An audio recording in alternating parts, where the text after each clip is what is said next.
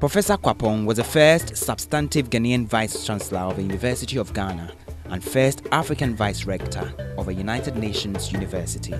He believed strongly that science, innovation, and technology remain the most effective means of reducing poverty on the African continent. Five years after his death, the Nature Speaks lecture series has been inaugurated in his honor.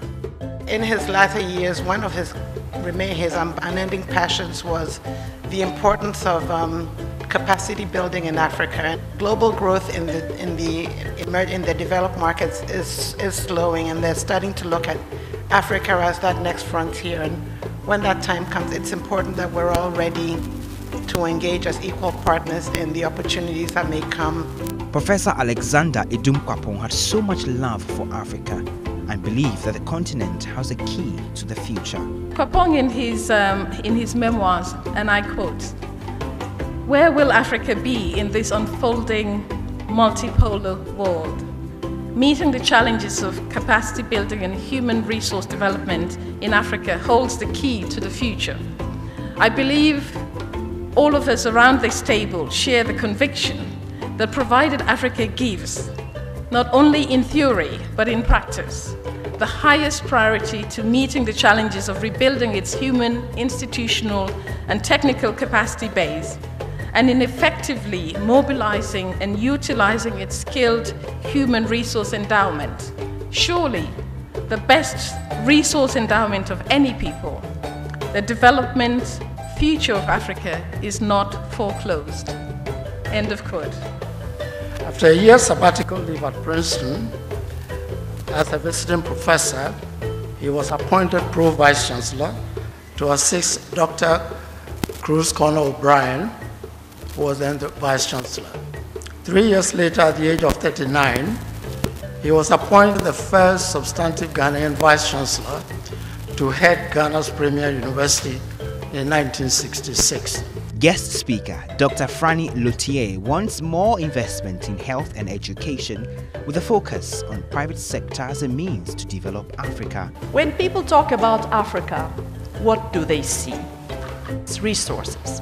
57% of the export earnings of African economies come from hydrocarbons. So this is fantastic today, but imagine a world that switches away from fossil fuels, it means that becomes a stranded asset. The second thing people see when they look at Africa is as an investment opportunity. We have at the moment, uh, in the last decade or so, uh, when you look at it since the 1970s, you see a huge flow, but that's about 1.6 trillion US dollars have flowed into Africa as foreign direct investment. So the question, this is a fivefold increase compared to the 1970s, so there's a huge interest in Africa. And the question is, where is it going? It's going towards the digital economy, particularly in the financial sector through fintech, mobile payment systems, and all the drivers of innovation in finance. But very little of it has gone to health and education, which again, when you take care of the human, that's the future and we haven't seen enough of the investment going there. Discussants were unanimous in their call and advocacy for technology to be leveraged in the areas of sanitation and dealing with illegal mining.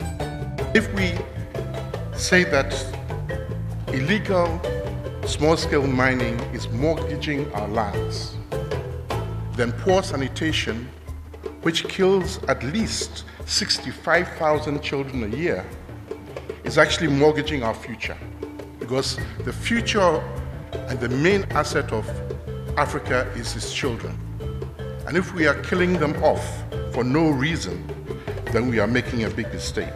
Meanwhile, stakeholders are advocating partnerships to leverage science, technology, and research to promote Africa.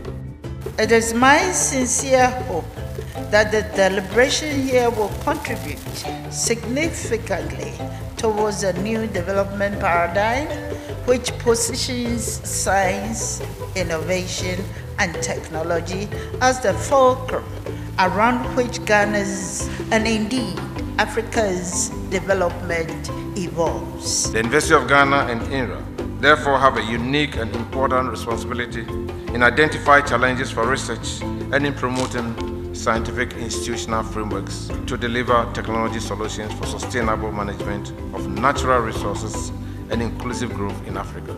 Participants were excited and shared their views about the lecture. Our guest speaker provided us with fantastic submissions that I personally am going to take back and use in my work. I came to this lecture actually because of Professor Kwapong and it was in line with his excellence, what he stood for. Um, it's a good event to the memory of the first black vice chancellor of this university and it's something that we are very grateful for. It's about time that we focus on um, our natural resources in Ghana because nature actually does speak.